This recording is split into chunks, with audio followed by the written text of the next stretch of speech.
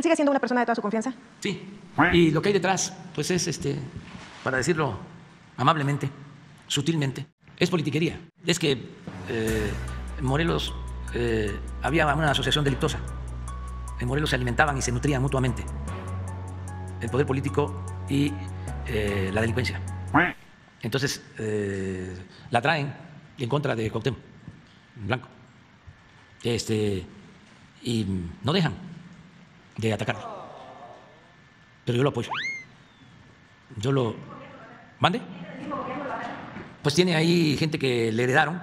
Allá hicieron las leyes este, antes de que saliera el gobierno anterior, de tal forma que lo dejaron atado en el Congreso. La Fiscalía, una de las cosas que hicieron en el periodo neoliberal era que daban eh, cargos por 10, 15 años y no se puede mover a un fiscal estatal.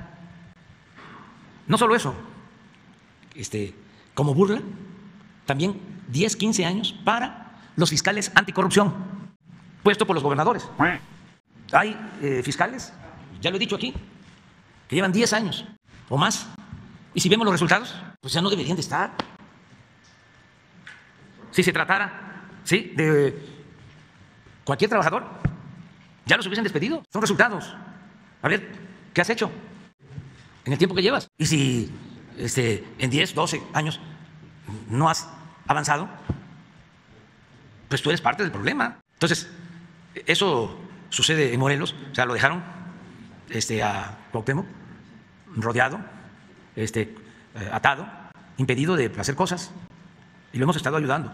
Y yo voy a seguir visitando Morelos y estamos este, eh, apoyando a ese pueblo que es extraordinario, ejemplar.